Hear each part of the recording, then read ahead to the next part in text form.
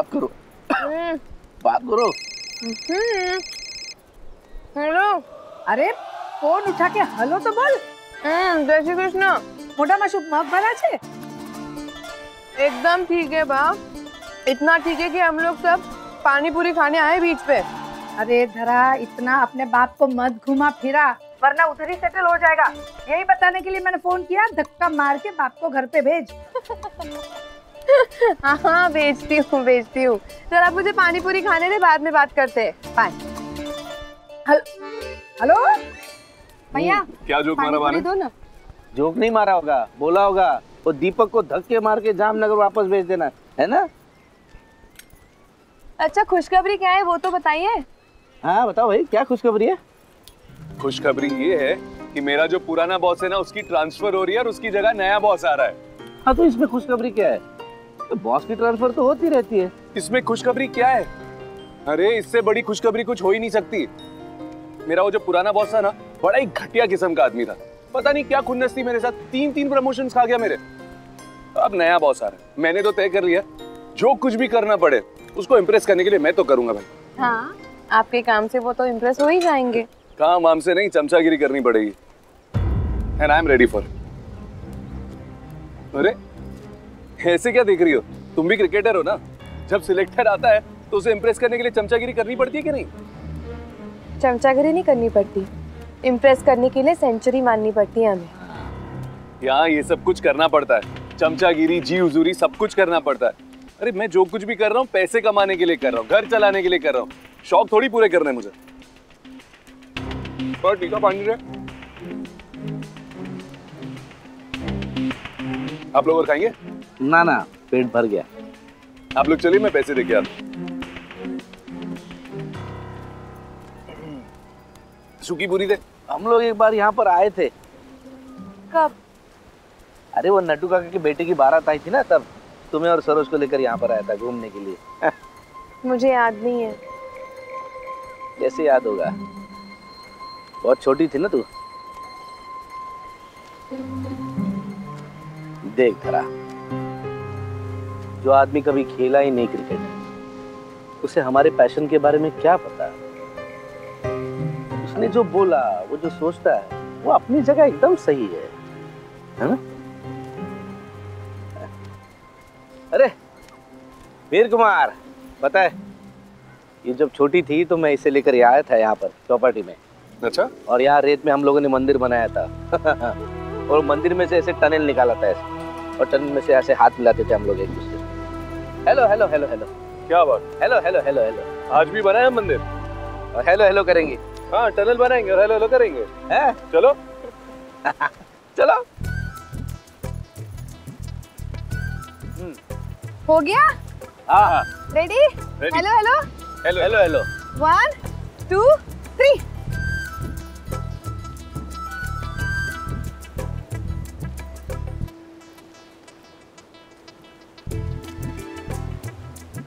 hello hello hello hello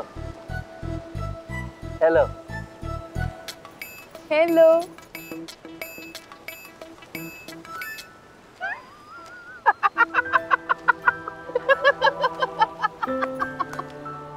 hello hello दूसरी बार आपके समझ में नहीं है आप दोनों को।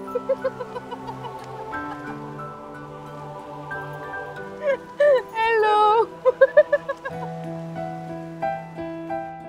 अंकल कल आपने जापानीज खाना ट्राई किया था ना? अब कल मैं आपको कॉन्टिनेंटल खाना बना के खिलाऊँगी। पक्का? हाँ, बड़ा मज़ा आएगा। पापा लावण्य बहुत अच्छा खाना बनाती है। अरे अच्छा खाना बनाती होगी लेकिन कल तो मैं जा रहा हूँ सुबह। क्यों? अंकल एक दिन एक्सटेंड कर लो ना। अरे मैं तो एक्सटेंड करना चाहता हूँ पर क्या करे? बहुत सारा काम है। बा का काम निपटाना है सीढ़ी भी जाना है मुझे। कल तो जाना ही पड़ेगा। पापा। ऐसे मत बोलो जाना पड़ेगा। रुक जाओ ना एक दिन।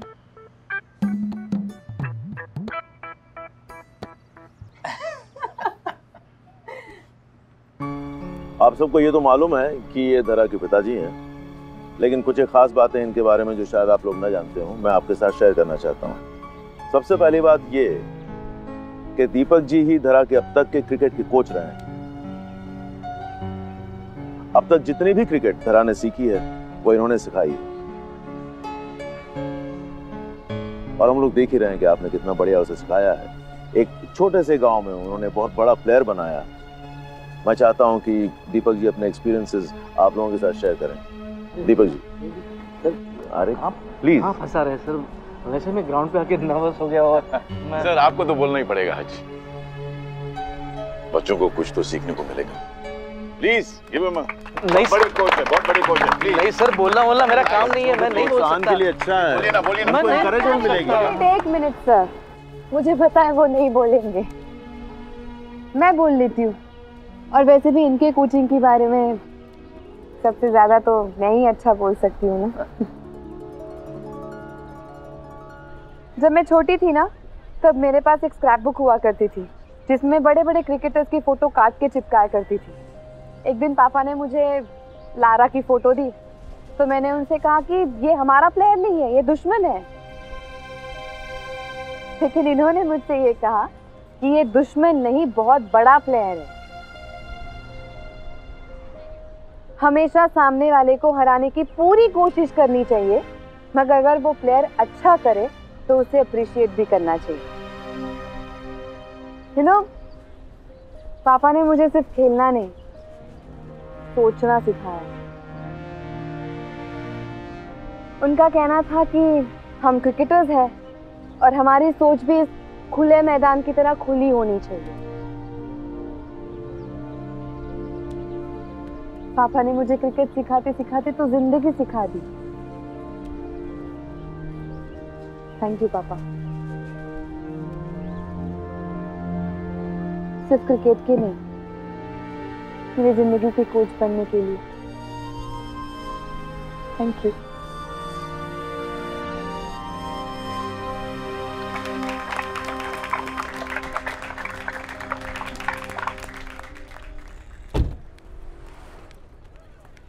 पापा हाँ? ये खाना।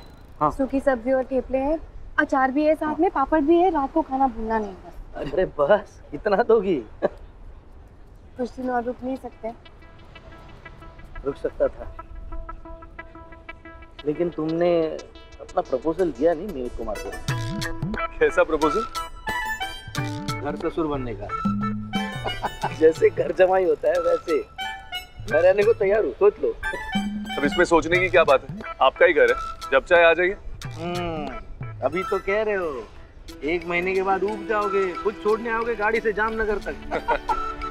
अगर मैं उब गया ना एक महीने के बाद तो आप यही रहे ना मैं जामनगर चला जाऊँगा। तो बाप बेटी इधर और सासू दमाद उधर। अच्छा बा को बताना सब मम्मी के जैसा पैक करके दिया है? खुश हो जाएगी वो। हम्म, और तू भी बताना बाको कि मैंने कहा था पापा को रुकने के लिए वो रुके नहीं। कहा बेटी के घर पे ज़्यादा दिन रुकना अच्छी बात नहीं होता। मैंने कहा ऐसे बोलना उनको खुश हो जाएगी वो हाँ। चल चलता हूँ मैं अब, हम्म? बा का मम्मी का और अपना ख्याल रखना। तू भी अपना ख्याल और इनका भी। मन लगा के क्रिकेट खेलना प्रैक्टिस करती रहना हाँ? हम्म, हाँ हाँ बोल रही है अभी तुम्हें जाना है ना तो जाओ अभी। आप निकलो पहले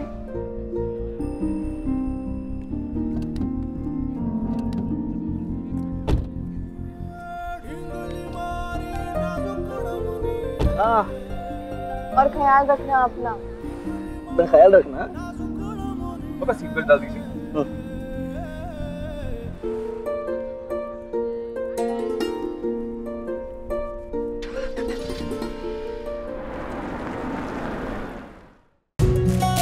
मेरी तमन्ना स्टार प्लस के ऐसे ही और बेहतरीन लम्हे देखने के लिए सब्सक्राइब करें हमारे यूट्यूब चैनल को।